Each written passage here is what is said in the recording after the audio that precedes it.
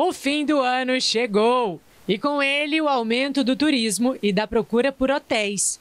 Depois de um longo período de baixa por conta da pandemia, a situação voltou a melhorar para o ramo hoteleiro. A hotelaria capixaba aqui na, na cidade, em especial em Vitória, a gente está estimando aí em torno de 70%, 80% de ocupação no Réveillon. Em razão dessas chuvas, né, em razão dessas incertezas que as chuvas trouxeram, e também aliado à questão das greve, da greve né, aeroviária, né, que está em curso. Então a gente estima aí uns 80%, claro que o desejo nosso seria uns 100%. São vários os fatores que fazem com que esta melhora aconteça no setor hoteleiro. E um levantamento realizado pela Associação Brasileira da Indústria de Hotéis sinaliza que o setor deve consolidar a recuperação no Réveillon deste ano, atingindo índices de ocupação próximos a 100% em vários destinos do país.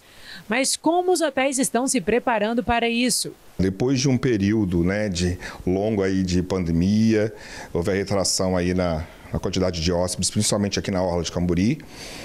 Nós nos preparamos, sim, né? Começamos desde o ano passado.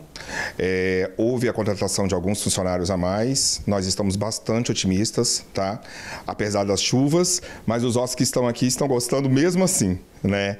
Então, houve uma contratação maior do quadro de empregados do hotel e todo o reforço da questão aí é, é, sanitária em, em torno da Covid. O Raul, por exemplo, veio do Mato Grosso do Sul para conhecer Vitória e passar o Natal com a família. Mesmo com a chuva, ele adorou o Espírito Santo.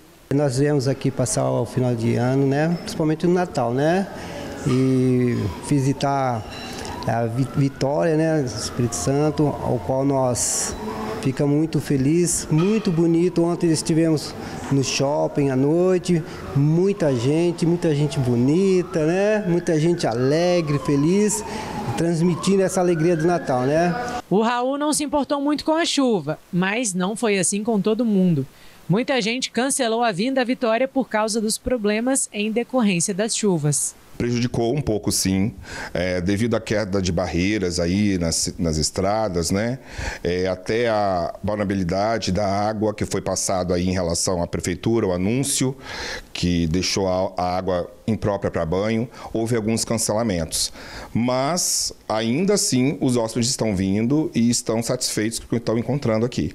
A chuva e a greve dos aeroviários podem até ter atrapalhado, mas mesmo com essas dificuldades, o setor hoteleiro teve uma grande procura para o Réveillon e a expectativa para o futuro é muito boa. O Réveillon, historicamente, a gente fica, com exceção aí dos dois últimos anos pretéritos, uh, mas com o anúncio da prefeitura, inclusive, que haverá queima de fogos esse ano, a procura triplicou. Então, aqui no nosso empreendimento, nós já não temos vagas. Tem melhorado. A, a, a, a seta é exatamente para cima. Existe uma, uma, uma, subida realmente de demanda. A gente está numa retomada franca.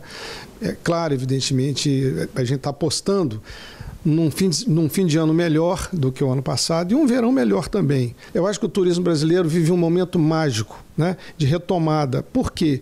Porque debruçamos sobre o nosso turismo interno. E aí o Espírito Santo é a pauta. É, é, é, a bola da vez, é a princesinha da região sudeste, é quem faltava ser conhecido. Então, a gente tem essa boa e saudável perspectiva para os próximos meses e anos.